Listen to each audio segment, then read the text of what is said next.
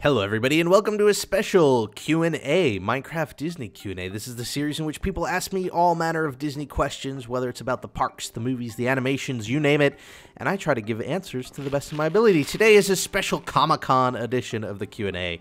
Uh, we've got Mellow Yellow 121 who just asks, talk about Big Hero 6. We have Morphic Immortal who asks, how well do you think the Tomorrowland movie coming in May will do as well uh, as representing the portion of the Magic Kingdom Park? And we have Mr. Matt881 asking, I have a question. What did you think about the Tomorrowland trailer? And what do you expect from the movie? Thanks and have a great day. Now, this is a special Comic Con version of the episode because I got to go to the Big Hero 6 slash Tomorrowland panel at the New York City Comic Con here uh, in Manhattan and uh, I have so much to talk about, and I figure this is a great place to talk about it because it's all Disney related. So, Christina and I went uh, to Comic Con. We got into the panel. It was a pretty long panel, actually. It was about an hour and a half, and it was split between Big Hero 6 and Tomorrowland. And so the first thing they had was Big Hero 6. They had a bunch of the cast up there, they had the directors and producers up there. Uh, they showed a lot of actual. They showed. Um, uh, I'd say about five or six scenes from the movie, and actually a bunch of people in the theater won free tickets to see it that night. I was unfortunately not one of them. Uh, I will say this: I went into that that panel knowing next to nothing about Big Hero 6. I knew it was the next upcoming movie. I knew it was based on a Marvel property. I had seen the the teaser trailer like way back when it came out and I got a few chuckles out of it. But beyond that, I didn't know much about it. I didn't really care. I sort of put that stuff off until the movie's about to come out so I don't get overhyped. And I can tell you that in those five or six scenes, I laughed so hard that I had tears running down my face. It was some of the funniest animation I have ever seen. And it's great uh, because one question I really I often get is uh, do I think Frozen is kicking off a second Disney Renaissance? The first Disney Renaissance being in the 90s with The Little Mermaid, The Beauty and the Beast, Aladdin, all those films.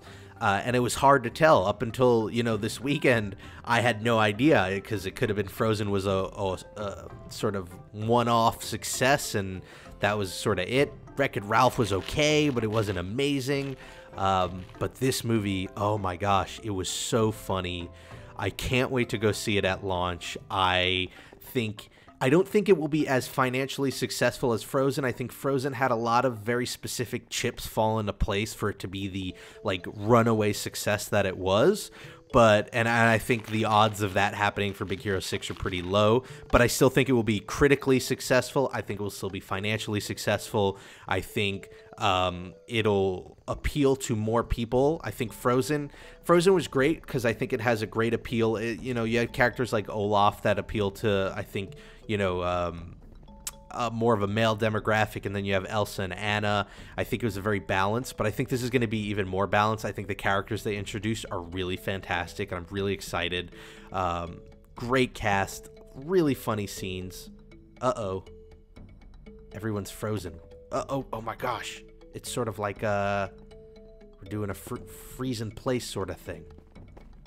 Um, a lot of like great child humor, a lot of great adult humor in there that's sort of hidden away. So I think parents will love it. I'm just like super psyched for this movie. I was really disappointed I didn't get a pass to go see it because after those few scenes, I was so down. Um, I can't wait. So that's Big Hero 6. Really excited. Um, and then after that, there was a mini panel on Tomorrowland, and that was really interesting. And that was why I went initially because we knew next to nothing about Tomorrowland at that point. There was um, an announcement, a graphic. We knew George Clooney was involved. We knew Brad Bird was on the project, but that was like literally about it. Uh, now we do have a teaser trailer. I was able to see the teaser trailer uh, at the panel. They had announced that because they hadn't released the, the trailer at that point, we were the first people in the world to see it, which is really awesome and I actually got to watch about a five minute action sequence from the film. And so, I guess to answer one question, what did I think about it? I think it looks really cool. I still am really confused about what it is, so I kind of can't wait to go see it. Uh, that said, um, to go to back to Morphic Immortal's question about how it'll represent the, the part of the park, uh, I wouldn't look at it as that. I don't think it's it's not about Tomorrowland in Disney World. It is called Tomorrowland Uh, in, the same way that Pirates of the Caribbean were was about pirates, but it wasn't about that ride and the specific story in that ride. This is not about Tomorrowland, the land. Uh, it's so cryptic. I have no idea what to put to, to, I don't know what to do. I don't know. I don't know. I saw a teaser trailer in five minutes of the movie, and I still can't really tell you what it's about because it's hard to tell. So the teaser, you know, if you haven't seen it, shows this this young delinquent girl. You know, she's just getting out of jail, and she gets this pin that isn't hers and whenever she touches it she's transported to this other dimension or world and it's this like sort of um, fantastical world with uh, flying things and, and, futuristic builds that are very reminiscent of like walt's uh, ideas of epcot but we don't know much about the, about it besides that. Uh, now, from the scene that I got to see, which was an action scene in which you, you, see George Clooney's character, who's sort of like a recluse, he's just sort of locked away in his house and the girl's trying to get answers about this land that she's teleporting to, and he knows the answers, and um, apparently her being there draws the attention of these like sci-fi robot uh, almost like FBI agents who start attacking the house. And so the whole action sequence was them getting attacked by these like robot agents.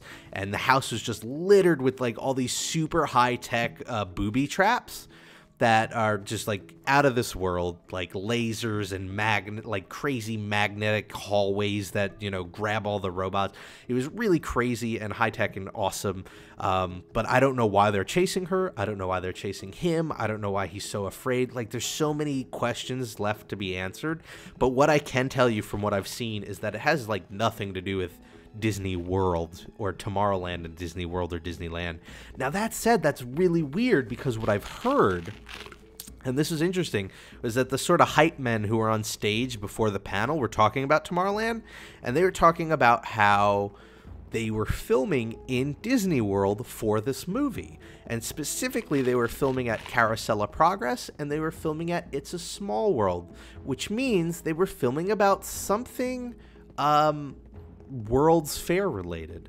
And it's interesting because part of what you got at the panel, besides this really cool Big Hero 6 poster, was this book called Before Tomorrowland. And it has like a preview chapter about the, it's this book that takes place before the movie. Um, and it takes place in the late 40s during the first World's Fair, and now we're hearing that they're filming scenes about the second World's Fair. So, like, clearly, I feel like this film is going to jump around in time between the future and the present and the past.